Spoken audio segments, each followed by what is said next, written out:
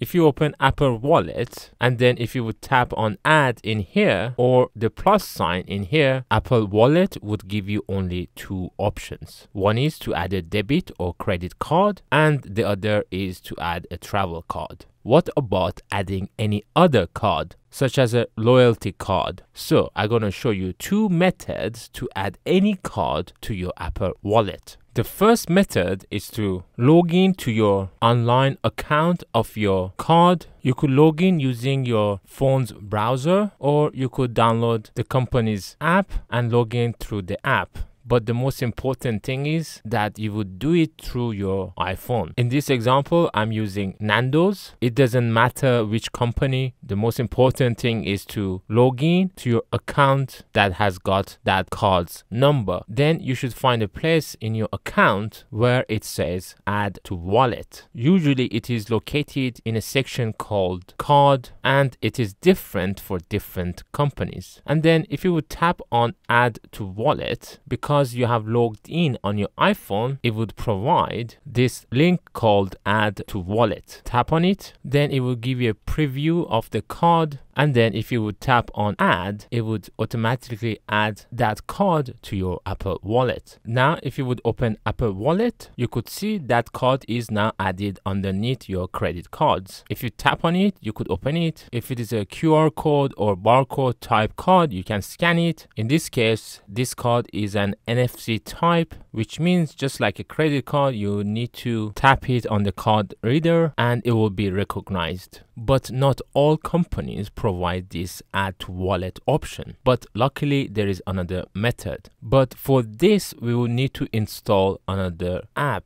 and this app would help you to transfer all your cards to Apple Wallet. So go to the App Store, tap on the search and search for store card selected.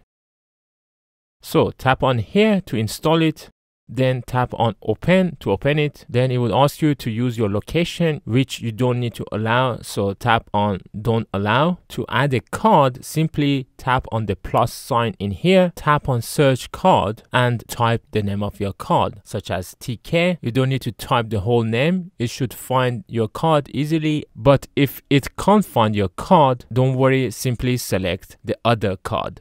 But if it finds your card simply tap on your card to be able to allow Stocard to scan your card, you will need to allow it to access your camera. So tap on OK. If you're lucky and your card has got a QR code or a barcode, you could easily scan it by using your front camera. Simply move your phone in a way that the barcode comes under the camera and Stocard would be able to very quickly read the barcode and the number. But still double check that the number on the card and on the store card are are matching.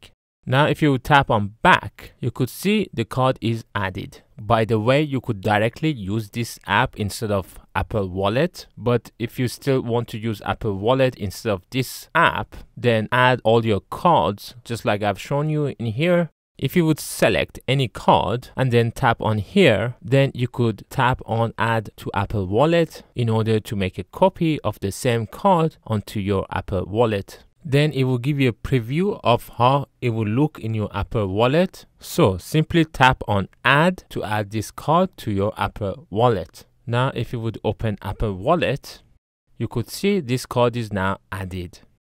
In this way, you could transfer most of your cards from Stocard to Apple Wallet. Just bear in mind that some cards don't have this option to add to Apple Wallet, but most of the cards allow you to add. So after adding all your cards from now on, you could simply just use Apple Wallet. Then if you tap on Stocard, it will group all your cards like this one by one and now you can easily scan it. Now that you have added all your cards, you could even uninstall Stocard app and just use Apple Wallet. I hope this video was helpful. If it was, please don't forget to subscribe to support my channel. You can find my other videos in here and if you have any questions, please let me know in the comments below.